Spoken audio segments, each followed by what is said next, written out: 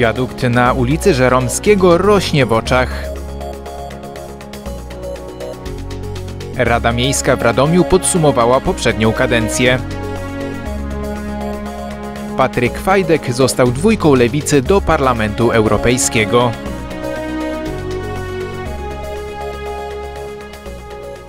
Dzień dobry, Michał Kaczor, zapraszam na informacje telewizji Dami. Postępują prace przy budowie wiaduktu na ulicę Żaromskiego. Prawdopodobnie pod koniec tego roku będzie przejezdna pierwsza nitka. Jak informuje Miejski Zarząd Dróg i Komunikacji w Radomiu, prace przy budowie wiaduktu w ciągu ulic Żeromskiego i Lubelskiej postępują zgodnie z planem.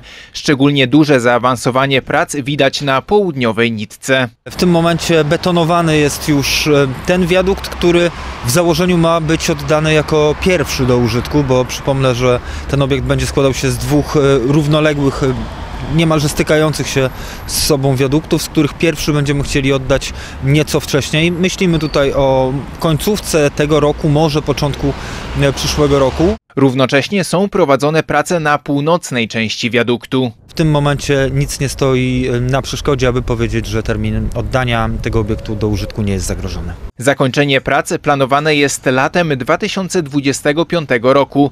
Przypomnijmy, że wiadukt ma się składać z dwóch nitek po dwa pasy ruchu w każdą stronę oraz jednym buspasie.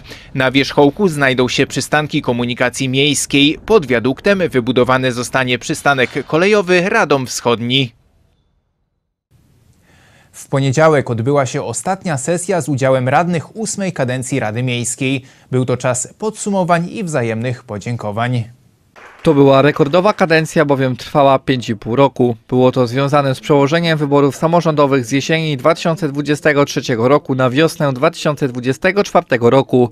Przez ten czas wiele się wydarzyło. To była kadencja trudna, bo y, dziś możemy mówić o podsumowaniu w piękny, słoneczny, kwietniowy, kwietniowy dzień, ale nie zapominajmy, że to, że to kadencja, w której mieliśmy COVID, mieliśmy pandemię, mieliśmy sytuację związaną z napływem do naszego miasta naszych sąsiadów za wschodu, ponieważ tam toczy się wojna. Skład radnych również z różnych powodów ulegał zmianie. Ostatecznie jednak każdy z radnych, który został wybrany w 2018 roku i sprawował mandat, otrzymał podziękowania i prezent w postaci pióra.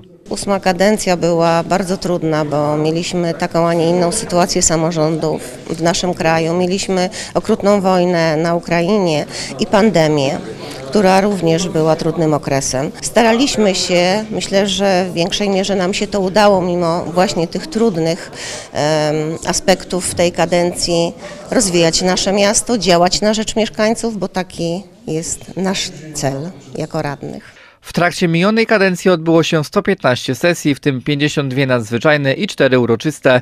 Podczas pandemii obrady odbywały się w trybie zdalnym. Rada przyjęła w sumie 1102 uchwały.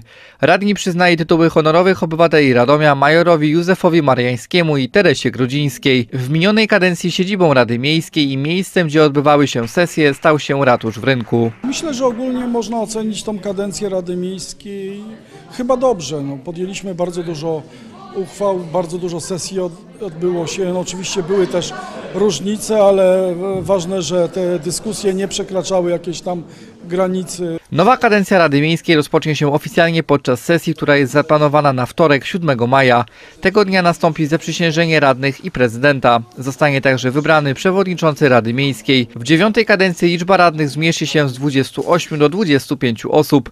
Jest to związane z faktem, iż liczba mieszkańców Radomia spadła poniżej 200 tysięcy osób.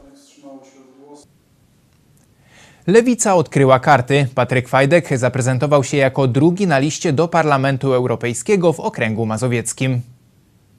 W okręgu piątym, który obejmuje teren województwa mazowieckiego z wyłączeniem Warszawy i okolic, Lewica wystawiła jednego kandydata z ziemi radomskiej. Z drugiego miejsca na liście wystartuje Patryk Fajdek. Dzisiaj przed Unią Europejską poważna dyskusja.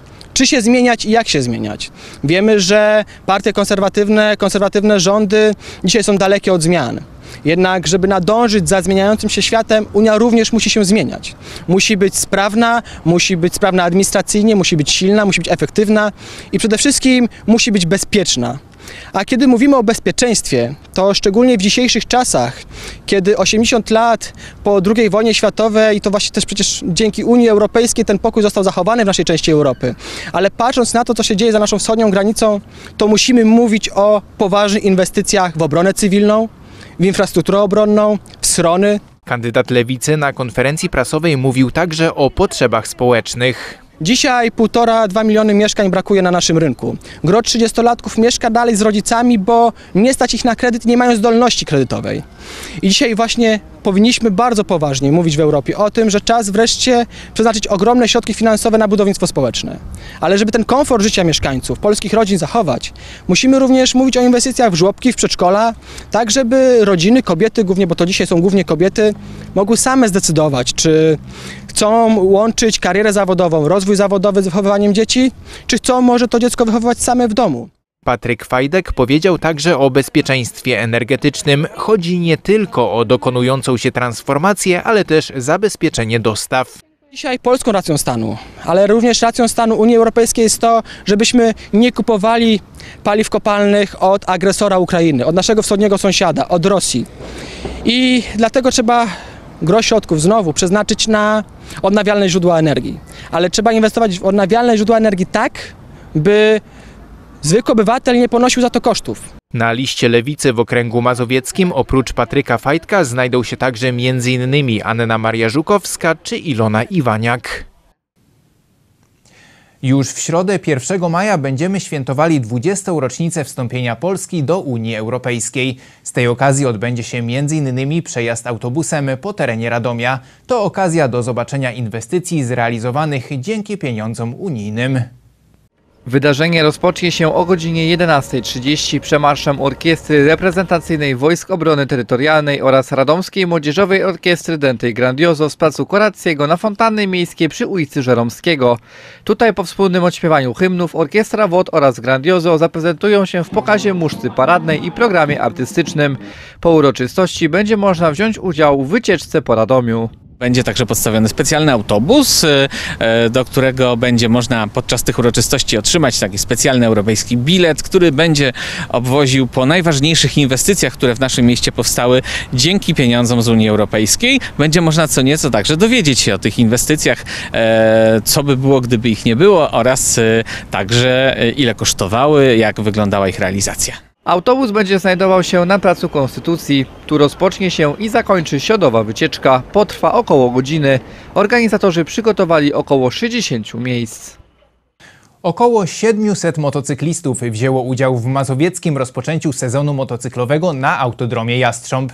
Były szkolenia, pokazy i konkursy, nie zabrakło również nauki pierwszej pomocy. Na autodromie Jastrząb oficjalnie wystartował tegoroczny sezon motocyklowy. Pasjonaci jednośladów zjechali się z całego województwa, aby podzielić się swoją miłością do motocykli, a także uczestniczyć w zaplanowanych szkoleniach i pokazach. Zarejestrowało się około 700 y, motocyklistów. E, Mamy ponad 300 miejsc szkoleniowych, natomiast pamiętajmy, że to nie jest pełnowymiarowe szkolenie, e, tylko e, szkolenie w pigułce, które pokaże nam, że warto brać udział w, w szkoleniach ogólno, ogólnorozwojowych, motocyklowych, doskonalić swoje umiejętności, podnosić swoje kompetencje. Sezon motocyklowy w Polsce trwa kilka miesięcy w roku. Im lepsza pogoda, tym więcej jednośladów widzimy na drogach. Jednak jak zaznacza jeden z instruktorów, zanim wsiądziemy na motocykl po zimowej przerwie, kluczowe jest odpowiednie przygotowanie. Nam się wydaje, że jak wsiądziemy na motocykl po 6, po 4 miesiącach przerwy, będziemy dokładnie tak samo się pięknie składać, będziemy tak super płynnie jeździć na motocyklu. Chcemy pokazać że nam się wydaje, że tak jak do każdego sportu, do każdej, e, można powiedzieć, dziedziny życia, gdzie wykorzystujemy własne mięśnie, własne ciało, musimy się przygotować. Po pierwsze się rozgrzać, po pierwsze się przygotować mentalnie, po drugie przypomnieć sobie wszystko tak naprawdę, co robiliśmy 4, 5, 6 miesięcy temu i na nowo, na spokojnie wystartować z naszym ciałem, z naszą pamięcią mięśniową, żeby móc bezpiecznie, efektywnie skończyć sezon i nie mieć żadnej przygody. Sobotnie wydarzenie było współorganizowane przez motocyklowy klub lekarzy Dr Moto Club. Jak przyznają jego członkowie, pomysł powstał wiele lat temu, jednak dopiero teraz udało się go zrealizować. Pierwsze słońce zawsze sprawia, że mamy wielu pacjentów motocyklistów, e, którzy ulegają ciężkim urazom, wypadkom na drodze. samo podnoszenie umiejętności techniki jazdy nie wystarcza. Musimy też mieć świadomość, że bezpieczeństwo jest najważniejsze. My jako lekarze staramy się jednocześnie szkolić e, ludzi z szkolić, ale jednocześnie upewniać ich, że, e, że umieją albo podnosić ich kwalifikacje, udzielać pierwszej pomocy w sytuacjach tych niebezpiecznych. Partnerem wydarzenia był samorząd województwa mazowieckiego. Zależy nam, żeby poprzez e, tą imprezę też do- docierać poprzez edukację, edukowanie też e, tak, aby zwrócić uwagę na właśnie bezpieczne zachowania na drodze. Robimy to jako Wojewódzki Ośrodek Ruchu Drogowego również e, poprzez wiele akcji, ale ta akcja tutaj dzisiaj na e, tym autodromie e, Jastrząb jest, wydaje się, bardzo dobrym kierunkiem, który po- powinien być kontynuowany w dalszych latach. Podczas wydarzenia nie zabrakło także food trucków, pokazów ratownictwa i pokazów strażackich.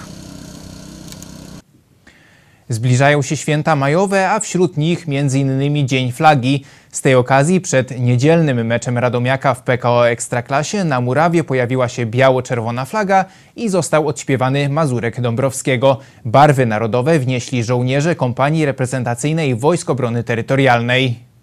Ośrodek reprezentacyjny Wojsk Obrony Terytorialnej powstał w Radomiu pod koniec ubiegłego roku. W minioną niedzielę żołnierze zadebiutowali w publicznym występie. Tuż przed meczem Radomiaka z Zagłębiem Lubin na stadionie przy ulicy Struga 63 w związku z nadchodzącymi świętami majowymi przy asyście żołnierzy kompanii reprezentacyjnej wniesiona została biało-czerwona flaga, a potem odśpiewany został Mazurek Dąbrowskiego. Żołnierze utworzyli też szpaler wychodzącym na boisko piłkarzom. Będziemy upamiętniać historię barw narodowych, symboli, tradycji patriotycznych. Dzisiaj musimy pamiętać o uszanowaniu flagi naszej kochanej ojczyzny. Dzisiaj okazujemy i manifestujemy tą dumę naszej ojczyzny i wspólnotę. Ośrodek reprezentacyjny WOD będzie podejmował działania dotyczące szkoleń muzycznych, szkoleń z regulaminów i musztry oraz ceremoniału wojskowego, a także wykonywał dodatkowe zadania mające na celu utrzymanie gotowości mobilizacyjnej i bojowej. Dla mnie jest to również bardzo ważne wydarzenie ze względu na to, że kompania reprezentacyjna dzisiaj debiutuje w publicznym występie. Są to żołnierze, którzy od ponad miesiąca już ćwiczą, przygotowują się do tego typu uroczystości i dzisiaj po raz pierwszy pokażą się tutaj na gremium społecznym y, na ziemi radomskiej. Jestem bardzo dumny z tych żołnierzy i serdecznie im gratuluję. To właśnie pokazuje, jak ważne jest, żeby do Radomia przychodziły e, centralne instytucje, takie właśnie jak e, Ośrodek Reprezentacyjny Wojsk Obrony Terytorialnej. To jest kluczowe. E, Bardzo jesteśmy wdzięczni, jesteśmy dumni, że mamy tutaj e, tak ważną jednostkę. To nie jedyna aktywność ośrodka reprezentacyjnego Wojsk Obrony Terytorialnej w najbliższych dniach w Radomiu. W środę 1 maja orkiestra WOT wraz z orkiestrą Grandiozą uświetnią obchody dwudziestolecia wejścia Polski do Unii Europejskiej. To już wszystko w tym wydaniu informacji telewizji Dami. Zapraszam teraz na sport i prognozę pogody. Do zobaczenia.